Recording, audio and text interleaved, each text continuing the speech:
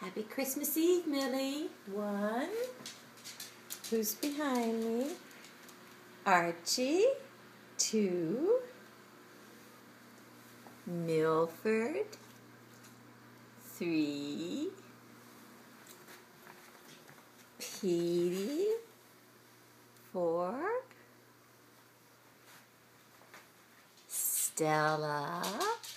Five. And Daisy. Six. And it's Christmas Eve, and they haven't destroyed anything. Well, one present was destroyed, and there's some in there for them. How about that?